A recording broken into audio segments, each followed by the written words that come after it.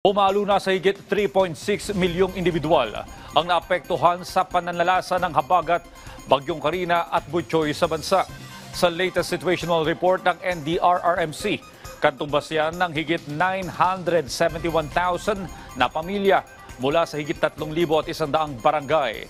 Sa kasalukuyan, nasa 42,000 na pamilya o halos 169,000 individuals ang nananatili pa rin sa higit isang libong evacuation center. 28 naman ang naitalang nasawi. Apat ang sugatan hapat, habang apat din ang nawawala. Pumalo naman sa higit 212 million pesos ang halaga ng pinsalang naitala sa agrikultura at higit 171.6 million pesos sa infrastruktura. Nasa 145.3 million pesos naman ang halaga ng tulong ang naipamahagi ng pamahalaan sa mga apektado nating kababayan.